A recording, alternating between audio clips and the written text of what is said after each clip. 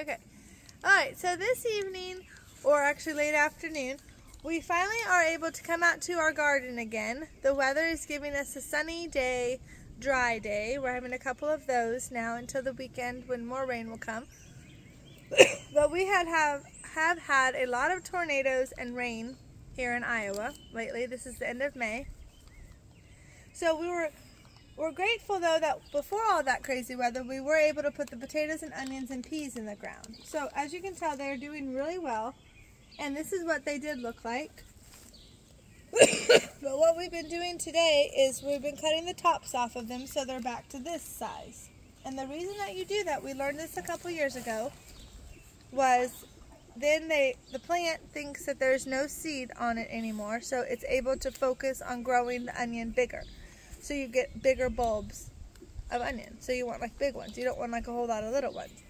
Now, last year, I think it was last year or the year before, we kept the green parts of the onions and we froze them to use them. But there's a lot, of course, as you can tell. So this year we're not going to do that because we also use the onions, so we just didn't use that much so of the greens. But you can, eh, they are freezable and you can use them again. Or you can eat them, yeah, whatever. But anyway, so we do this to get the bigger onions. And then, then as we do that, we are also taking the dirt away from the top of the onion. Not all the way, but just you want to air it out. You're trying to get the sun to get to that bulb of the onion because that way it dries it out a little bit and keeps it from rotting away because if it's packed in with especially when you have a lot of rain now if this was a dry year it would be different but that this is a wet year. So we need to open it up, let the air and sun get into that to not let those onions rot. Because there's been times where we have not done that or we didn't think it was that wet and when we're pulling our, uh, picking our onions, a lot of them were rotted because of it just sat in that damp soil.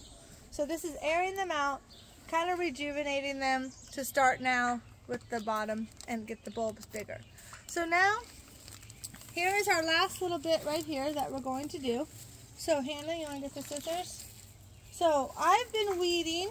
Me and my husband have been weeding. Hannah has been cutting. Now, some of them though, that little bunch right there, see this part is going to be where the seeds of your onion are. This is what happens. So now those are red ones right here.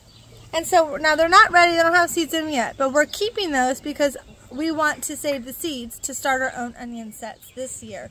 That was our one thing that um, we did not start uh, in the greenhouse was onions. We bought the onion sets, but we want to try that. So we're going to save the seeds, but they're not ready yet. So that's why we did not cut the tops off of this. Now, yellow and white onions weren't doing this yet. So they're going to regrow and then they will set the seeds at the top and we will save those once they're ready. But that's why those couple, you might ask, why didn't you cut those?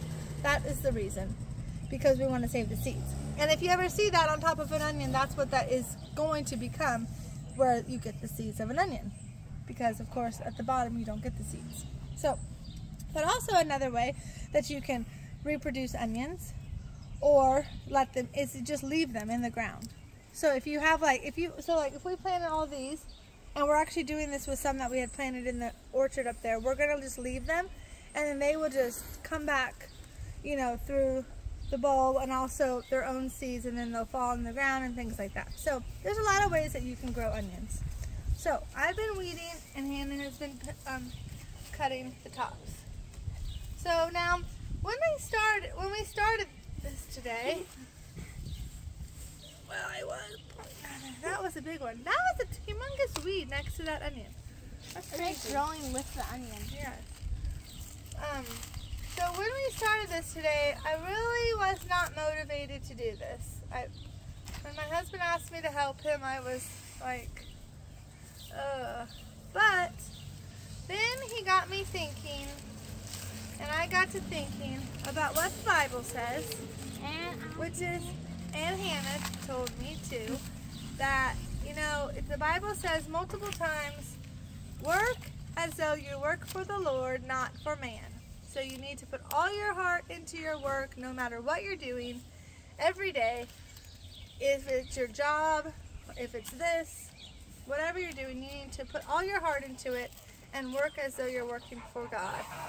And that really helps and makes and it's the truth. So, you know, it makes you feel like you're doing a good purpose and things like that. So, and you know, my husband, he didn't really want to come into this because this is a mess. If, as you can see, and now, look, now this is funny too. Over here, we planted potatoes, right? This was organized planting. Well, then, you know, all the rain came, the tornado, so we haven't been in here for weeks. I mean, upon weeks. And then we find out, look at all those free tomato potatoes. I mean, that were just came up from last year. We didn't even pick them last year. So now we have all that mess over there. So that's not really organized planting over there because there's some jungle. It is because it's a little here. bit, a little bit, a little bit, and that was supposed to be our area for cucumbers, tomatoes, peppers, um, uh, watermelon, cantaloupe, right? But now that's taking up a lot of space, so we're gonna have to really rethink this. And and like you can tell, it's a mess. So it's just with like with life, right? Sometimes you have a mess, but you cannot let that get you down. You just have to continue. Oh, Hannah, you can be on this side cutting. Remember, because of the potatoes. Come in front. Oh, right here. Um, just like with life, you know, like I said, don't let the mess get you down. Don't let it get you discouraged. You just have to keep working at it with your whole heart, and um, and and it will make a difference for sure. And it will make you feel, you know, God will work through through you to do good things. I'll, I'll get the weeds of that in one second, yeah. And so, um, yeah, and also another thing that is very comparable with gardening and with life and with Bible life, biblical life, is that you reap what you sow. So we plant these seeds or these, you know, potatoes and onions and things like that. And we are able to put the seed in the ground. Just like with people and our relationships with people trying to lead them to Jesus. We tell them about Jesus. We tell them about the good news. His, you know, his God's love, things like that. But then, of course, we cannot force people to make that decision. And everybody individually has to make the decision to follow God on their own. Even though, I mean, that is, if you want to have a, a if you want to have eternal life, you know, you, you're going to have to choose now to follow God. You can't wait. It's no, there's no time to wait, right? And so, it's just like, you know, God is the one who makes this grow. We don't make it grow. Here, I'm going to get the weeds over here. We don't make it grow. We just plant the seed. So our job with people as well is to plant the seed of the gospel into their hearts. Talk to them about Jesus. Talk to them about his love and God's forgiveness and kindness and mercy and grace. And then pray that they will make the right decision. And then God will be faithful and make them grow in Jesus just like he makes the plants grow in the dirt, right? And then you will have a great harvest at the end of the season just as will be a great harvest when Jesus comes back for us. So it really is, you know, God makes that so good a comparison in that. And it, it, it really helps us understand. It helps me understand it a lot better. He gives me that he gives me his wisdom through doing things like this. And number one reading the Bible is where I've been getting a lot of my wisdom lately from him. I've been learning a lot from doing that, which is makes me feel really joyful and it makes everything make sense too. So I, I mean it just really does. And so if you ha- if you don't read your Bible, I really would um, advise or recommend. Ew, here, look at that worm. Ew. I found a worm in the dirt.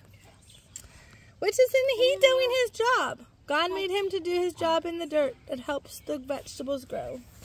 But we'll leave him back in there. He does his job. We'll put him back under the dirt so he doesn't get hot from the sun. Yeah. But um but I would I would definitely recommend um people, you know, to read their Bible, learn about God as much as you can because it's so important. It's so important. And you will you will find out when you read your Bible that God really demands that of every individual to read their Bible and to know their Bible so then they can live their life according to that, which is God's Word. And I never knew that before. I never knew those words were in there. But now that I read it, I have found it and it gives you a new outlook and a new, you know, it just, it changes your life. So, for the better, of course. But, so there's your comparison today of biblical living and gardening. So I hope that you enjoyed it and I hope that you will look into reading your Bible and check back to see what we do with our potatoes. Bye!